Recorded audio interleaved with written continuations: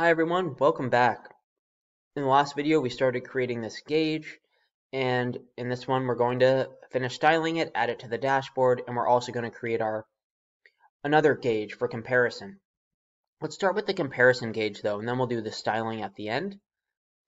So what we're doing in this gauge is we're comparing the player's value for the testing event that we select with the team best value in the event that we select. And we're going to create another gauge that represents this exact same information, more or less, except instead of the player value, you're going to you're going to decide whether you want to display what you want to display. Do you want to display the position best? Do you want to display uh, the team average, the position average, uh, the player's all-time average? I I don't know what it's going to be. For me, I want to compare the position average so that I can quickly see how the player compares with the team best and how the position average compares with the team best. So I kind of can see two, two different things. I can see, one, how the position relates to the team, and number two, how the player relates to the position, and also how the player relates to the team. But it gives me a couple of different viewpoints within a couple of gauges, and I'm actually not a huge gauge fan. It doesn't provide very much information for the amount of space it takes up. But I think that they look cool, and a lot of people um, asked me to do gauges, so that's where a lot of this is coming from. But let's uh, let's move on here. So what I'm realizing is I didn't lock in some cells that I probably should have here. Um, and because we're going to copy and paste this stuff down, let me let's do that quickly. Another thing, I, I don't talk about this much. I always put dollar signs manually um, before before my locking of stuff, and that's okay. Uh, my computer, it's really hard to reach. My computer requires holding down the function key and clicking F4 to to automatically lock things in, and I think it's a valuable shortcut to know. Uh, that's why I wanted to bring it up. But for me, it's just too difficult to do. It's almost easier to do it manually. So but if you hold that, for me, if I hold down function and I click F4, for you it might just be F4, but if you're clicked around these cells or around the stuff that you want to lock, I'm holding down function key and I'm clicking F4, it'll automatically lock both, and then if you click it again, it'll lock one, and then lock the other, and then unlock. So I'll do that again. It just kind of cycles through locking. Um, for me, it's difficult to reach, so I just do the dollar signs manually. Uh, we're going to lock in V5 there. We're going to lock in column A here and A4 here and H to H and A13. We're going to lock in everything with dollar signs. Click enter. And now we can copy all this stuff that we have and we'll paste it beneath. And the only exchange that we're making here, uh, or that I'm making, I'm going to call this position average like I said, I want to compare this player to the position average. To uh, make this exchange, right now we're getting we're taking the average of a value for when the player is equal to the player that we select and the event is equal to the event that we select.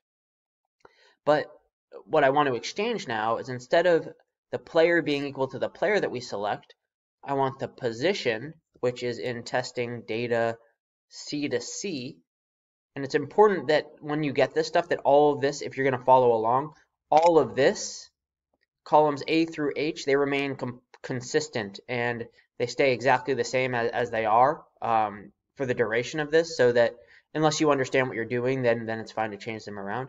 But I'm taking column C. If you move the position column to G or added some columns or whatever you did, you're going to want to get the column that you want to, of the cohort that you want to compare. For me, it's position, so that's C. And we'll change testing data A to A to be testing data C to C. And instead of that being equal to A4, which is the player's name, we want it to be equal to A7, which is the position of the player. Let's change A4 to A7 and click enter. And now that's the position average and we can create another gauge by selecting this stuff, insert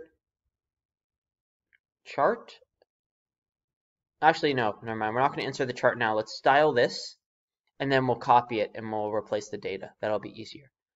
So how am I going to style this? I'm going to edit the chart. And donut is fine. Let's go to customize. I want it there to be a transparent background, so I'll go to chart type, make the background color none. I don't want there to, there to be a border on the chart, so I'm going to remove the border. I also want to make this as small this box as small as possible. So there we go. Now now the chart is kind of contained in this small box. And I'm going to change the colors. So the color here of this blue, I want to be, I don't know, the gold. And the color of this red, I want to be uh, light gray. So it'll look like the gauge is not filled up. And the last thing that I want to do is I want to make the donut slices thinner. So this donut hole here, it says 50%. Uh, was it 25%? Oh, that makes them thicker. Let's make it 75%. Sorry if you can't see this very well. I know I made the background transparent and such.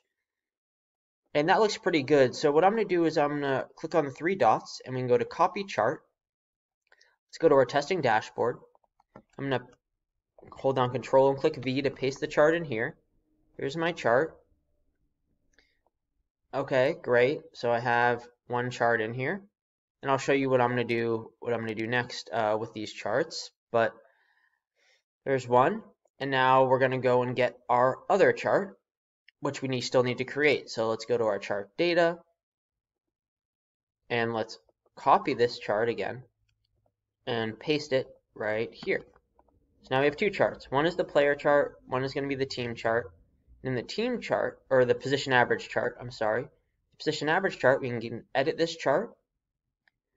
Uh, the label is fine because we're not going to use them at all. But the, for the values, we're going to select data range. Instead of V8 to V9, which are these two cells, the player value and the remaining value, the player value being the, the gold and the remaining being the gray, we want this to be the position average and the position remaining. And click OK. And now if we look at this chart, it should fill up more than the player chart, and it does. And I'm just going to change the color from gold to this uh, dark gray or almost black color and copy this chart now.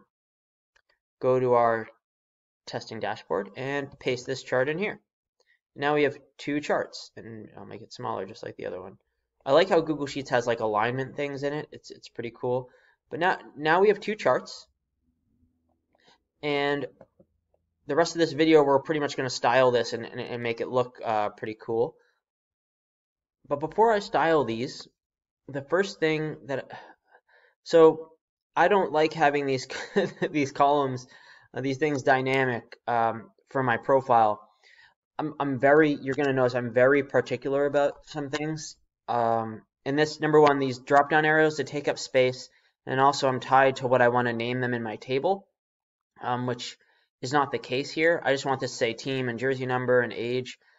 And the reason why I want them to say that is because I want all columns to be the exact same width. So that when I merge cells and do some things, uh, it looks nice and even. You'll notice that column C is bigger than column D, E, F. So what I'm going to do here is I'm going to go to my profiles area and I'm going to change the, the wording in here. I'm just going to change this to team, age, jersey, jersey number, and see if that helps me out. So I'm going to go to my team dashboard now. Uh, let's just change this to this is age. This was jersey number, and this was team. Perfect. And now I'm going to make this the same size as the others, which is 100. I don't know. Ah, we got there. Great. I can still see everything. Now everything's the same size. And now what I can do, or what now I, what I can feel confident in doing, is merging cells. So let's say that we want these gauges to be these sizes.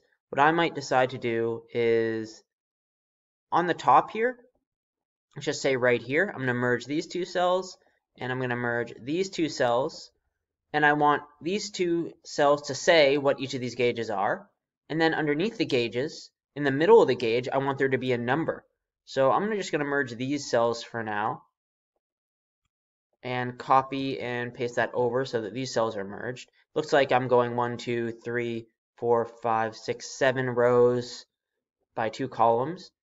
And actually what I should do is make all of these rows, I'm going to resize them to size 25. So they're all a little bit a little bit thicker. I, I like them that way. And I'll align my gauges inside these white boxes.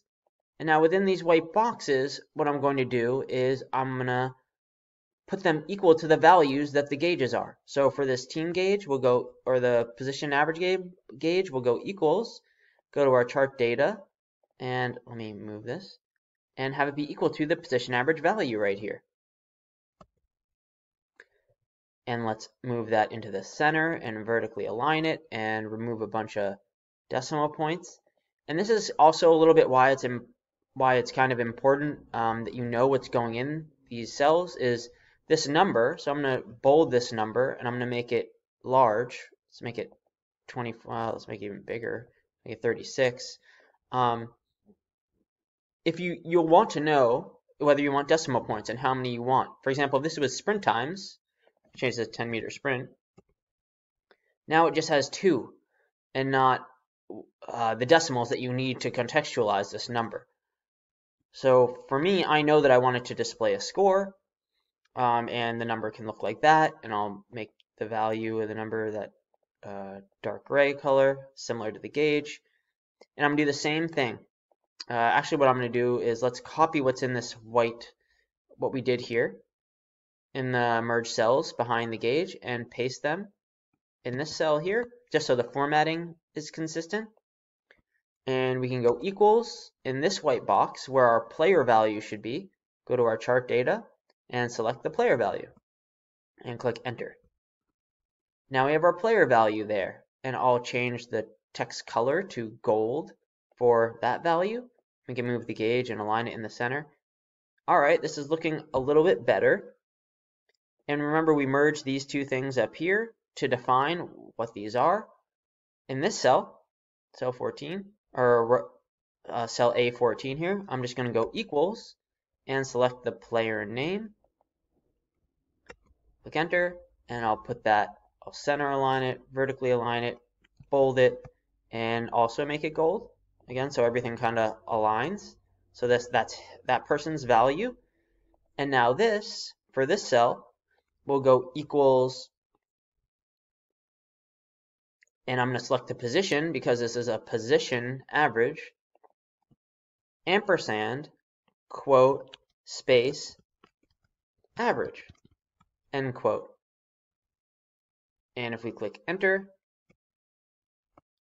in bold, center align, vertically align, and again we'll make that font um, that dark gray. Now we can quickly see that, okay, this value is for this person, and this value is for whatever the position of the person is, plus average, so it's the forward average. If we choose someone else, I don't know what, what position these people are. All right, now we have the wing average, and we have the value for that person, for overall score. And I guess the last thing, now that I think about it a little bit more, maybe I want to move all this stuff up a little, a little bit, and the gauges up a little bit and make this overall score maybe like a little light gray background so that it's a little bit more obvious that we can select it and change it. Let's see what this looks like because ultimately we'll look at it without grid lines. So we'll go to view, take out the grid lines here. Okay, that looks pretty good so far. Now there's some stuff, there are some charts that I want to go down here. And there's also some more information that I want to go down here essentially what I want to do is I want to identify this athlete's their biggest strength and their biggest weakness uh, based on our scoring categories that we defined. And if you don't have scoring categories, you might be able to do it uh, with just metrics. And then I also want to display a couple of charts here that we interact with that shows the player relative to um, in context, essentially relative to a position or to a team and and where they fit. So we're going to go through those charts next, and then in the end we'll go through um, the finding the biggest strength and big, biggest weakness stuff. So I hope that this video was helpful. Uh, if it was, please make sure to give it a thumbs up, like it, and subscribe to the channel if you haven't already. That would help me out a lot. And great work so far. I know it's not easy. Uh, you're crushing it, and I'm excited to see you in the next video.